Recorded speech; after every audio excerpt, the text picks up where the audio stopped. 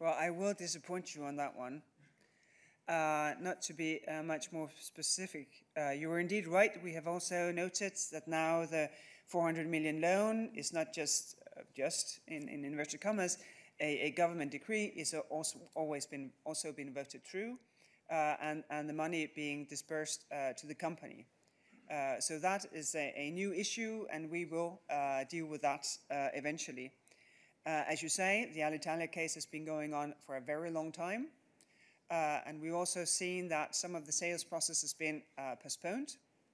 Uh, eventually, yes, there will be a decision, and we are uh, assessing the case. It is quite advanced, uh, and we are in close contact with the Italian authorities uh, on this issue.